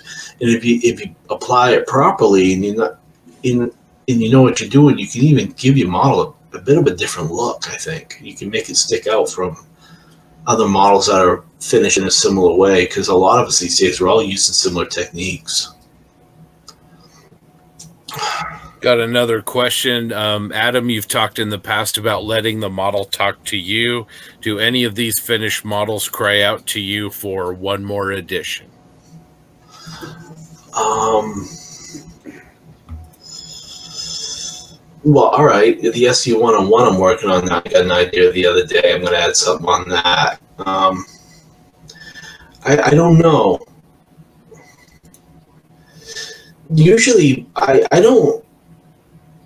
I devote so much time painting these things that if there's if that's an idea or a detail I want to put on, I'll put it on because I've devoted that much time. I might as well go the full, you know, just because like if I finish like a Sherman, who knows when I'm going to do another one? So give it everything you got, you know. And if it if it prolongs Yeah. putting something up there a couple weeks, well, fine. It'll look that much better when you put it up. Ian's got a bunch of questions tonight. He usually does. Too divisive, but I'm a cat guy, big time. Love cats. I got a great big cat. Is Ian, are you a are you a cat guy or a dog guy? He's both. Both. Yeah. Yeah, Catherine wants a dog. I'm like, all right, you you walk it. Cass is getting a litter box. Yep. JB, you have some more questions? Yeah, I can throw up. Actually, uh, let me throw up another screen share, Sure. and I will specifically, really, it's one model that's stuck out for a while, and and just walk us through maybe the the intensity it took to accomplish a finish like this. Oh man, yeah. Um, uh, thank you, Ian. By the way, um, I don't know where I came up with that idea. Where did I come up with that? This one, all right. This goes back to the question someone asked earlier about: Do you ever feel there's something you need to add when you're done? This was um, this was a one where I was. This was the first one I did after the not the first one, but the first one after I finished those two books. That I was kind of getting back in. I was kind of finding myself again. I was starting to feel confident again. And I, I didn't set a time limit on this. I took all the time on this I could. And this is another one that I will never sell. And uh, I, some of it, like with the impacts, I had to kind of guess as to the effects they might leave. But just getting those scratches around, you know, from the fragments in the paint, and then going over the white with the lighter whites, and then the greens with the lighter greens, and then adding the you know the browns for the the steel, and you know, uh, it um, it took me months, but I enjoyed every minute of it, and I have no regrets and this is probably I'd go as far as saying it's probably my one of my all time personal favorites that I've done. And I, again, I'll never sell it, and it, I just love the subject. And it was basically taking that one out of the box and saying, um, "What am I gonna do with this?" And it took me a long time to. Um, and I think part of the reason I added all those impacts was again just to give it something a little different, and uh, the, the figures on it kind of made it up as I went. At first, it only had like three figures, and I'm like, you know what, I want to put two more on. No, I had four initially. I want to put two more on, or one more on. So I had him, Yvonne paint me up another figure, and I want to do another one like this. Um, some, I love these wacky. I mean, dark green is such a great color to weather, and um, yeah, that it, it was that. Getting back to those scratches, it was like I'd get it done, and then I'll look at it again, and I'd pull out the paints, mix the light green colors again, and go back over it again, and then I'd go back over it again. Then I'd add more whites, and then that one was just looking at it, doing it some more, taking test photos, blowing up the photos on your screen, looking at them. Because if you think about it, most people are going to view your stuff on a computer screen. It's going to be blown up right in their face with high res photos. So that's what how I that's how I critique my work, and um, you know, going back over it again, going back over it again, and uh, yeah, that was um, that took some time, but I'm happy I did it, and I still I still love looking at photos of this vehicle. Think, hey, I did that, you know. Oh yeah, it tells a story. I mean, what I love is just the, the effects on the uh, the machine gun mount here and the other splashed effects of of the rounds. It's just it's just incredible. Such imagination. Thank you, and that thank you very much. And that was where you know, like the lighter uh, sheet metal parts in there, like the visor over the periscope and the fenders. Mhm. I chipped those with a uh, more of a blue steel tone to try to break the chipping apart that way. I didn't I didn't pull any punches on on this one. Uh, No, it's it's next level. It's beautiful, beautiful kit. It really is. Yeah, thank you. I'm glad you. I'm glad you put that photo up there. I'm glad you like it. Darren Yeah, it- Cook wants to know how the how the hell you made such realistic impact marks. Uh, take a soldering iron, just a soldering iron. But you know, there's people doing other stuff out there with putty to help add. I didn't use any putty or anything. Like someone will they'll put a hole in it, then they'll they'll take putty, put it inside the hole, and they push something like a pencil or something in the hole. And you see that putty effect come out. I didn't do that with this one. I, the whole thing was done with a soldering iron, and then um, I took the knife, a hobby knife, and I I cut out I cut out the um, the parts of the impacts where the plastic didn't look right, and then I took that same hop hop that I'm sorry that same um, oh I'm sorry the uh, soldering iron I'm sorry took it to work. We have a bench grinder there. I, I made it to a real fine fine point, and that's where I got some of those you know the small small impacts where the um, parts of the steel flew off and put in smaller impacts and, um, or small little dents in the plate. So uh, that's all done with a soldering iron. First a dull one, then I sharpened it up and put on the fine little holes and and then yeah, painted over it. The hard part though was trying to figure out what it would do to that the um, the sheet metal. Um, you know, like the fenders there, was how, you know, how would that affect those and trying to make those look other little pieces. That was actually a lot of fun though.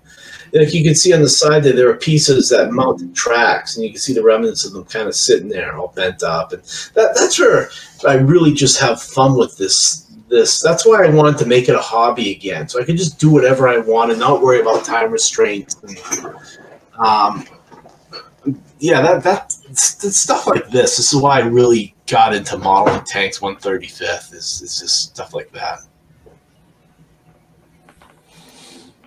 Yeah, it's stellar. You know, another one that sticks out is your latest work, and just that the, one, yeah, the last finish that last summer. Um, that was one there We you're talking about the, the weathering. Um, you know, you got to be careful because you can build it up a little bit too much. And I wanted this to be weathered very much from the beginning anyway, so I wasn't too worried. That's why when I did the SU 101, I, I held it back because I wanted it to look different than this one. Mhm. And this one here took a long time too because you know you get the brick all over, all the stowage on the back, those mouse tracks on the front. But what where this one where I ran into problems with it was the camouflage is a little complex, and I found it that it was difficult to break up the model after with the earth tones and the washes and everything because the camouflage was breaking up the earth tones and the washes too. If that makes any sense. Mhm. Um, so, um, if you're gonna do complex camouflages, just be careful.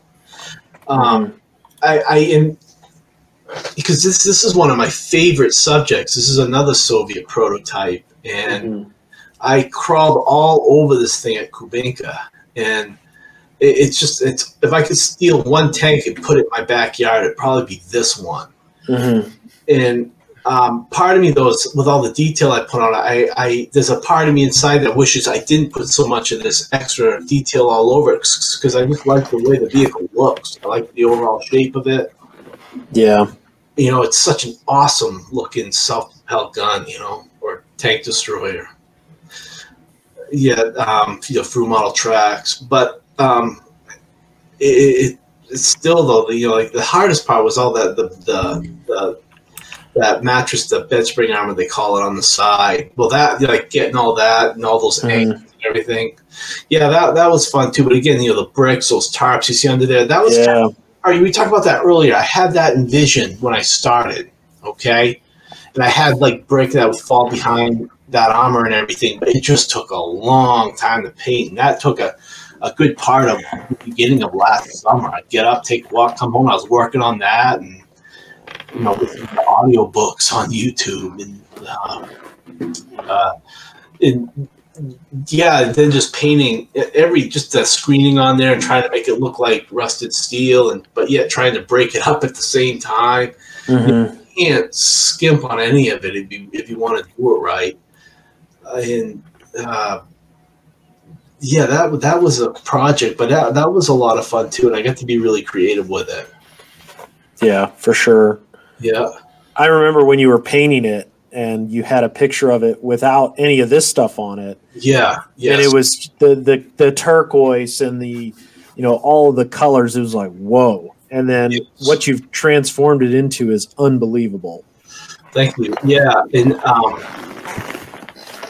uh, yeah, a lot of a lot of a lot of uh, copper sheet on that one. Hmm And uh, I, I think what I did was I hand painted that over hair over the hairspray, hmm and I chipped it. Uh, so you can, if you're quick, you can hand paint over over hairspray once you've applied it. Hmm. But again, if you took all that stuff off, that model still by itself, just the shape of it looks cool too. Yeah. So uh, sometimes I wish I didn't do all that work, but sometimes I like it. It just depends on the mood I'm in that day.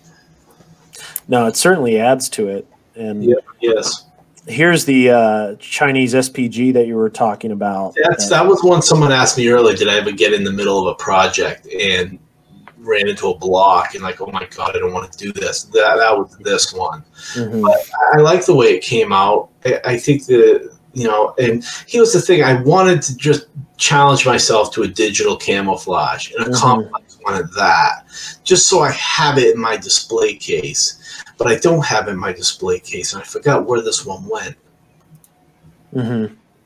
I forget. Um, Yeah, it's it's great. I love the digital scheme. yeah, yeah, yeah, and it's a great kit. It's a really cool. You know, the Chinese armor is, is really interesting. You know, it's it it looks Soviet, but it's not. And it, it they use these really cool camouflages, and uh, Mhm. yeah, Chi- Chinese are they're interesting people. Um, they're- that yeah, that that was a. I finally got it done. You know, I added some snow on the running gear, from a reference photo I saw, and that was a nice one to get done. I mean, I was glad to have it, but boy, that was some work. Yeah. Jonathan Anderson, our buddy Scale Model Doc, wants to know how many tape trees died for this build. Oh my god! No, actually, there were stencils that I got, and I forgot who the manufacturer was. And I, I just found them by accident one day when I was researching this thing. And thank God, because I don't know how I would have done that um, otherwise, but I was going to try. And I had a, David Parker send me this model, and and when the guy found out who I was, he sent me a couple extras too. So having those extra sets allowed me to, Mhm. you know, break them apart and put them. Thank God he did that. I wasn't even smart enough to ask him for a couple. so, um, yeah, that. Oh man, just the masking. Since some of that stuff too, I couldn't mask around the details, so I just had to airbrush and then go back and paint it by brush. And Mhm. oh, yeah, a lot of cussing on that one. A lot of oh my god, what did I get myself into? And At the same time, I promised an article and blah blah blah. There's the one we were talking about. This one someone was asking keeping the weathering to a bare minimum. Um, you can see the toolboxes, the the uh, the that blocked armor at the front. I'm not sure how that works, but using the washes to bring that out, and you know even having some of the green under the sand, but keeping it really light. Mhm. I had a much a much more enjoyable time with this one. And yeah, this is one I bring everywhere and people like it and I still have it. But that's an example of keeping the weathering real light and just relying on techniques, placing them carefully, and you can still turn something and take something and, and make it really interesting. You don't have to go overboard on the weathering too much and Mhm. display the vehicle. And that yeah, that, that was one of keeping it really light. And with that Mark, Mark Bradley wants to know what your most challenging build to date was. Uh, let me think. Probably that bear that I did. That was completely scratch built, but I, it actually. I was I was um, living in Russia. I was modeling all day long, so I built in conjunction with some other projects. You know, I built so much because it was a series of scratch built articles that I did. So I'm like, well, I can scratch build show how to do this this week, next week, next month I'll worry on about this part, next month I'll worry about that part. It was the most complex, but it wasn't that that tortoise was a tough one. That getting all the fenders and the rear toolboxes all rebuilt and all the measurements that was that was tough. Um, another one that that um, SU one fifty two forty five that you put up a few photos ago that was that was a tough one too. Getting that standoff armor on there? That's a good question. Yeah. What's that? Yeah, that's an awesome build. Thank you. Yeah. Oh, that's another one. That was another one I got into, and I'm like, what did I get myself into? About this one? That was built pretty much from the box. I think had some photo etch on the inside. And that was another one. When it came out, I was glad that I did it. But boy, every single piece to that thing was a, a like a you know you had to figure out how to paint it differently. I had folders and folders of and folders of images I found on the web of painted steel plates just to try to make them all look different and just in talking about someone asked me what I hate doing the most though painting those texts on the side there that you know that those Soviet um, lettering on there that was a that was a tough afternoon a lot of swearing yeah but it looks okay thank God um, yeah, that, I remember that. That was quite a that was a major project. Yeah, that one too, huh? Um, Oh, I love the blue modulation. me too. That's one of my favorite ones with color modulation. That was that. I, I really like that one too. And that was when I started using the gradient, starting with the highlights at the bottom to kind of focus more on um, more more on where more on where light reflects and less on just trying to bring the gradients to the top to accentuate the turret because there's different ways we can approach it. I mean, both ways work. That one with the wet effects, I chose that one um, for the book because I knew it was going to be one of the main ones that I focused on, and I Mhm. I didn't have a, a vehicle of that color, but I knew with um, on the side with those tracks, the way they come over, like the way they come up and over part of the siding like that, I could do all kinds of effects with that. And that muddy look, that after I added all the weathering and the thick mud tones, I just brushed on um, Vallejo Stillwater over it. And uh, that's how I got that look with it. That one, yeah, uh, built that for me. I, I didn't build that one. Um, that was Really? a collector, actually. Oh, nice. Man, Yeah. I, I just love it. Yeah, yeah. M Expression helped me with the decals on it. Um, did a good job on those, and that was the one where I found four or five different examples with different effects. Uh, it's, it's an LVT, right? Yep, LVT. Yeah, that's where I got. Yeah, that's where, and I took all the stuff I liked the best off those vehicles and just put them on that one. And um, that's the one where I really exaggerated the colors, and it made it all just came together at the end. Um, a lot of my book, a lot of the stuff on filters, that, that was the, in my book was the focus of of that model. Awesome. Yeah, Awesome. thank you. Yeah, John says uh, the KV1 that has a million views on YouTube. That was a great, great one as well. Yes, John Hale. Yes, um, that was another one. I did not worry about the weathering. It's a KV. I've never seen one that looks remotely clean. So, yeah, that one was done. That was my uh, colleague would we would shoot the next day, and I'd spend the next rest of the day into finishing the effect we filmed that day. That was a lot of work. Still, You know, I had to get it done quickly. We had a figure for it that was all painted, and we lost it and like ah, I don't know what ever happened to that figure, but never, we never found it. We just misplaced it, and but yeah, that, that those videos were that, that that was a lot of work too. So uh, putting together those videos and everything, and you know, of course, you run into disagreements and you're tired, so you know, there was a little back and forth, but that happens. But at the end, you know, we were both happy with what we got. Nice. Okay. Well, how we how we doing on time, Adam? You still got a, a few more minutes with us? Yeah, sure. People are still interested. Can someone read that? What is that? Hey, Uh, what is it? Hey, PP and PPP and Adam. Uh, turning in late, but got to start from the beginning to not miss any of the the gold. Yep. Yeah, it looks like he's gonna gonna watch the stream um, afterwards, so that's Okay. that's great. Thanks Um, for coming on, Kyle. Yeah. Well, um, Doug, we haven't heard much from you. Uh, uh, what are maybe, maybe what's one of your favorite builds that Adam's done? Well, you already brought it up. It was that uh, KV2 Walker. That was it. Just it was really cool. I love the design and I love the finish on it. Thank you. Um, um, I know, I know it's not your design, Adam, but uh, but I, I think that the I, I, I actually looked it up on on I just googled KV2 Walker and there's a bunch of ideas out there that people shared and that's the only one I've seen that actually looks like it would act might maybe work. It's not unbalanced. It, it looks like it actually is put together really well. So yeah, that's what I saw on that. And then the finish, um, like you said, making that turret look look like it came out of a out of a bog, but the rest of it looks modern. That was that's that was uh, a great finish on that. Thank you. Yeah.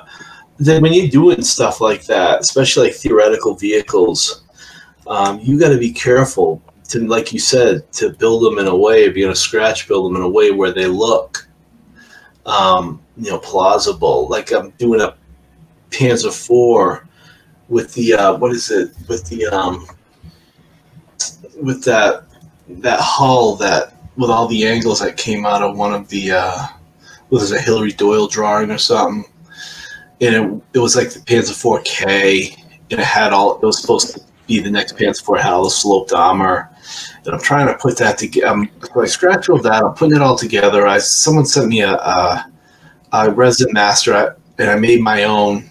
And I mean, the resin master was great. I just I, I made my own because I wanted to make the weld seams a little differently, and um, I'm realizing like, okay, how do you service the transmission now? You don't have those flaps that open on the front to go into, or was it? I think it was a change of brakes. We need David Parker here again. you look at the front of a Panzer Four, you've got these rectangular hatches that came up. I think it was for the brakes, and there was a, another square hatch that you could take off. I think it was for the transmission. So now I'm like, okay, well, how did they do that on this? How are you going to get the transmission out? How are you going to get those brakes? And of course, with the machine gunner, uh, the way it's set up, the machine gun's going to be right in his face, so he, he's not going to have room. I'm realizing all this stuff now, and I'm still thinking, okay, how am I going to make all of this work and make it look like you can get to that transmission and those brakes? And the MG had the radio operator has enough room in front there, and the vision port for the driver. Does that make sense? Absolutely. They just don't have enough room in there the way that's set up. And I didn't realize that till I already had it all together almost. So, I'll, I'll, Yep. figure, I'll figure something out. You know, those are the fun ones. Those are the challenging ones, right? Yep, yep. Yep. T- TJ, what's one of your favorite builds of Adams? I think uh, John has it in his little folder there. It's the um, the Pacific Sherman. I think has the it was the AK set on it with the slat armor on the side and this is yeah the the Avenger. Oh, yeah, it was a MiG production conversion. Ah, Mig. Yeah. That's You know one of my all-time favorites. when I first put that on Missing-Lynx, to be honest with you, I was afraid to put it up. I, I didn't think we would go over, and th- that was that one actually went over a lot better than I thought. But that was another one you're working with the color modulation and not being afraid of how light you made it, and the weather on that one came out pretty good too. I, I was happy with that one. Some of them just some of them just come out better than others, you know. Yeah. Yeah. Yeah. The yeah, the tracks look great and the natural metal and, and Those are- everything. Those are rubber tracks. Those are rubber band style tracks. Yeah. Wow. I've since learned that the um those plates on the back, those Pacific Shermans, I, I got that wrong. Um I did find another photo finally with how those plates look, but it still look cool. It's fun to paint them. Yeah, just oh man, just never never gets old taking a look at that for sure. Well, that conversion too, it comes with a um a stencil to make that um that little slogan on the side. Yeah, I mean rubber tracks. If you if you know what you're doing and you're patient, you can make them look good. Yeah. Yeah, I like the little steel plates on the front of it too. Uh, I, I thought the weather on that came out pretty good. I was happy with it. So uh, Chris Sieber, aka Luftdrum seventy two, wants to know: Has the posse roped you into a Maschinen Krieger build yet? No, but there's a few I want to do. And again, it just comes, and that's a good question. It just comes back to, um, I just I don't have the time I used to. So uh, what I do, there are there's a lot of stuff. I, there's a lot of sci-fi stuff. I, I even like I like to do like Star Wars Night Fighters. You know? I love to have a collection of those. I'd like to have them all. I, you know, I love the Tie Bomber. That's like my favorite one. And um, but it's just I only have so much time, and I just stick to the 135th armor because I think that's what people want to see from me, and what that's what they know me for. And I still enjoy it. I still enjoy it very much. I, I'll always probably be doing 135th scale armor until I can't see anymore, and I get so, Yeah, so yes. Um, John, what's what's one of your favorite builds that we haven't talked about yet of Adams? Oh man, I you know again I I love Naked Desperation. That's my favorite build of all time. Out of all the models I've ever seen, Yeah. oh, Well, it's so good. Uh, Steve Zol- Zaloga told me that I had the wrong turret on that thing, and which we talked about one of the other um, podcasts. And uh, I think I, I might I might do that again. Why not? Just do it over. Try to research it a little better, and and do it again. See how I can make it look now. And plus, it won't be so big like that German one you just put up there Schutzwagen, yeah. that name. um, I don't even dare say that. Um, so, but it, so it'll probably be a lot more fun. I might do that again. Um, Mhm. So, um, yeah, I'll, I'll let you know. Okay. But I'm Sounds glad good. you like that one so much. Oh, it's the best. It was posted on Facebook about, I don't know, less than a year ago. I think someone had bought it off of eBay and they posted. it. I was like, "Whoa, where'd this come from?" Oh, I know. I So- felt the same way. I'm like, oh, uh, I, so much. I guess all right. They sold it. Okay. oh man, Yeah. much longer. what was that? Adam builds five T34s for every Sherman. Yeah, I, I love the T34. I love all the variants. I love the angles. Um, I do like Shermans too, though, very much, especially now more so than I did. I enjoy it much more. But uh, but the T34, I, I just I've built so much of them. I know so much. I know where the flaws are in all the kits. I know how to Mhm. put together the photo etch, and I can do it pretty quick. But th- there's, there's some cool Shermans out there people have done over the recent years, and Mhm. Sherman was also a very important vehicle like the T-34. They had a lot in common. Mass Mhm. produced, you know, simple to maintain, operate, and train people on, and you know, important medium tanks. Mhm. Yeah, no question, no question. Um, is, is there any kind of subject that uh, you you see in the near future that kind of goes outside of armor that you're interested in? Would you ever do a ship or maybe was some wondering- aircraft? Um, I was going to do a V, like one of the original Mad Max V8 interceptors, the one from the Road Warrior. Oh yeah, And there was a kid out there for it. Um, just probably some Star Wars stuff like Tie Fighters and everything. You know, like those. What is it? Those seventy second kits from is it Bandai? Mhm. yeah, Yeah. Yeah. They're a little costly, but um, they go together really nice. Just build it from the box, and you know, just just um, just focus on the painting and having fun with the washes and stuff. That's probably what I'll do, and I can hang that somewhere, you know, in the house or something. Um, my fiance, you know, she she likes those movies too. Mhm. Yeah. Um, I've also there was, you know, I've always liked robots too. Um, some of the different robots out there. I got one done. I just never finished it. I just never got a chance to paint it. I just get caught up in other stuff, you know. Mhm. Yeah.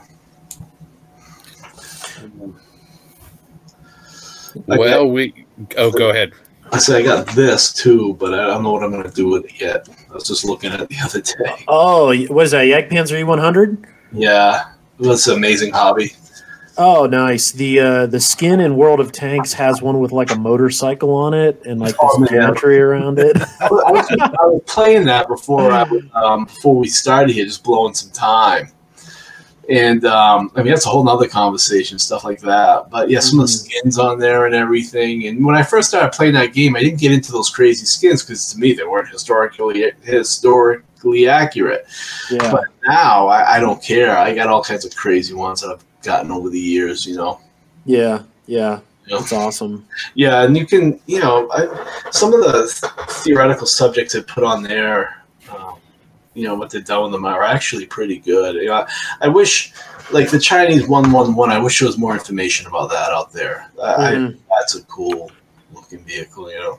And some of them, you look at it too, and you look at how they were designed. I'm like, well, that wouldn't work because of this, this, and this. And I'm like, you know, I, yes, I'd like to take that idea, but kind of build it my own way. Mm-hmm.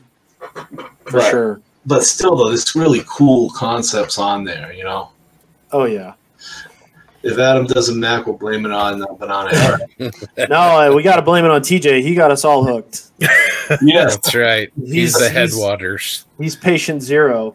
yeah yeah Well, Adam, if you want to do a Bandai Star Wars kit, you just let us know, and one of us will send you one. is I there would love to see that. man. yeah I, I had one of the uh, tie interceptors but it broke when i moved home from spain i had it in my suitcase and it broke Mm. um but is there is there a good 70 second kit of the um the tie bomber out there Not No. yet. We're, Yeah. we're- Unfortunately, not. yeah We're i'm only hoping. getting resin and i don't dare touch that Mhm. Yeah, um, but uh, even just having one of the regular Tie Fighters, the, the Darth Vader one was awesome too. Mhm. If you're a Star Wars fan, that was actually a prototype in the movie. I thought that was, Mm. I thought that was cool. And some of the ones in the new ones too. What was it? Um, my favorite new Star Wars movie, Rogue One. Mhm. In my opinion, the only real good one that fits in with the old ones. Mhm. Uh, the Tie Fighter they had in there, I forgot the name, and there was a 70 second kid out for that too. oh, Striker. striker. Striker, Yeah. it's like kind of the, the solar panels are kind of like over the pod. Mhm. Yeah, I love I love that one. That's cool. That that's really cool. What's this? Uh, Scale Model Doc. Oh, hey, he's from uh, Instagram, I think. Mhm. Yeah. Yes, I've seen him on Instagram. I, I love that. I like his. What is that? The pictures avatar? Is that what you call it? Yeah. Yes, yes. Yeah, I know who he is. Does good stuff. Yeah. Jonathan's a good dude. Good dude. We're in a chat group with him. Yeah. Good guy. Really So, cool. Yes, nice. all right. We got another serious question for you here. Okay, from Pete. Yep. Um, well, why would you ask? Uh, what is it, Adam Mandalorian book or Boba Fett? Aren't they both about Boba Fett or? I, I'm not. I'm I'm sorry. I don't quite understand the question. You say which one do you like better, Mandalorian or the Book of Boba Fett? Have you watched either of those shows? No, I don't have them. They're only on. What's it? They're only on like Disney, right? I don't have it. But my um, one of my students um, did let me uh, steal his password for his students left um, class, I stayed a little late in the classroom watching it, and I really do like. Um, I like the Mandalorian. I loved it with was it IG88. Yeah. Get him in there. I thought that was great. I really they, they just kill him off. but I thought that was great. Um, because I, when I was a kid, he was like one of my favorite you know little figures you know you had that you wish you kept and didn't blow up with firecrackers and stuff. You, know, you, you do the Roberto Aguilera collection. You know that was always oh man. it looked so different. It was just a cool looking droid. So, you know, you know, everyone loved the droids. You know, Mhm. that's much character. That's what made Star Wars. One of the things that made Star Wars special was Mhm. the, the character the robots had, the battle damage all over the ships, the weathering. It, the universe looked old. Mhm. And as a kid, I just I'd never seen that before. You know, I remember just looking at the pictures. You know, the impacts on like uh, one of those little skimmers there. They that Jabba the Hutt had when they went to the was the Sarlacc? It's called. Yeah, Sarlacc pit. And- Pit of Carkoon. Yeah, I was looking at a picture and a nice color picture. You see like Harrison Ford and um, Carrie Fisher up there all dressed up, and you see a big impact in the front of it. Mhm. And actually, I it was a friend who pointed out to me. We were in a store. He pointed out to me, "Is wow, look at that impact on it." Like, yeah, and then my head's already you know spinning. yeah, what do we do with that? So, yes. Um, so is the book of Boba Fett good too, or Yeah, it's Yeah, It's yeah. alright. Yeah, it's re- I like it's it. really I think it's really kind of part of the Mandalorian. It's all kind of a story. It's really really well done. I think overall. Mhm. So, Okay, okay. Well, everyone loves Boba Fett, right? oh yeah, Mhm. Uh, awesome. Well, we're at two hours, Adam. Man, what a treat um, for you joining us tonight and yeah. uh, reminiscing with John about uh, some of your older kits and getting to kind of get into your your head a little bit with your weathering and finishing advice. And thanks to all of you out there who have listened and asked Adam questions. Um, man, what a treat to spend some time with you, Adam. Well, thanks for having me on. I appreciate all the questions. And um, if I looked a little tired, I apologize. It was a busy and uh, it's always, yeah, John, it's always nice to go back to the old days. That was a great idea of yours. And, um, you know, guys, thank you so much for having me on. It means a lot. I'm glad that you know, people still want to hear what I have to say. Oh, Oh, yeah. absolutely, absolutely, absolutely. All right. Yep. Thank All you. right. Well, thanks again, everybody. Thank you, Adam, for joining us. Uh, we'll do more of these lives in the future. To all Sure. of those of, of you out there listening, um, we'll have the audio from this in our next podcast, which will drop on the 16th. So you can uh, listen to this again. And John will put some pictures of the builds that we've discussed so you can uh, kind of take a look at those on our Facebook page. No, it's the 16th of March. Uh, February. February. Yeah, next week. Oh, Yep. Oh, that's right before spring break. So I Yep. stayed late listening to it. I'm not spring break, winter break. Cool. Yep. All right. Well, thanks everybody. We'll talk to You you guys talk to you out there soon. Cheers. Take care. Later. Thanks. Bye. All right.